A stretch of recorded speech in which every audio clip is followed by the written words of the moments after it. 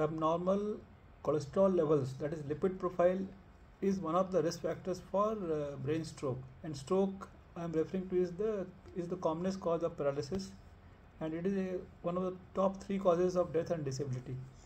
So, if you look at the various parameters of uh, lipid profile, the one of the most important risk factors will be elevated triglycerides and lower HDL cholesterol, and uh, that is best measured by something known as triglyceride to HDL cholesterol ratio and the lower it is better it is. Means the risk of stroke will be lower if the HDL if the triglyceride to HDL ratio is low.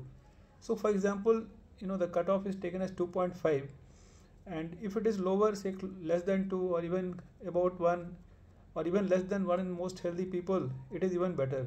And as the triglycerides increase or the HDL is lower as you can understand the ratio also will keep on increasing and higher the ratio worse is the risk, uh, risk profile and greater are the chances of uh, developing ischemic stroke.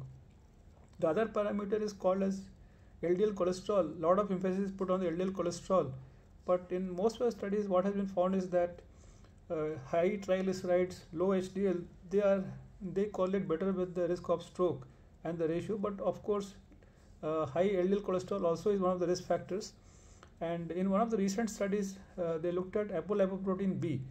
And if uh, both apolipoprotein B and LDL cholesterol are high then definitely the person has a high risk of ischemic stroke. But if you have a situation where uh, apolipoprotein B is elevated but LDL cholesterol is low still the person has a high risk. And if both are on the lower side that is apolipoprotein B as well as LDL cholesterol both are on the lower side then the risk is lower. So just to summarize if you look at the lipid profile and you want to assess the risk of stroke, look at the serum triglycerides and HDL, find the ratio. If the ratio is lower, say typically less than 2.5, then the risk of ischemic stroke is on the lower side. And then the next look at LDL cholesterol. If it is uh, high, definitely risk is on the higher side. But it is also important to check apolipoprotein B because that gives more valuable information as compared to the LDL cholesterol.